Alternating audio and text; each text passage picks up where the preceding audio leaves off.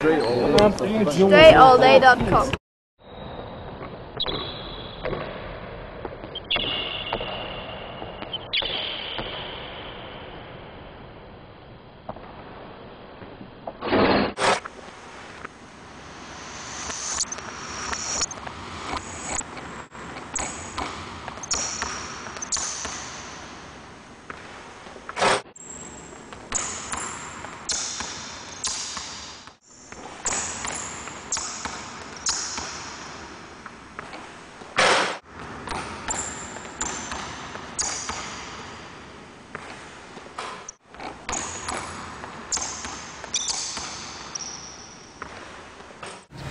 That's it. That's. Dre all day, baby. It was a move used mostly by uh, Chris Paul.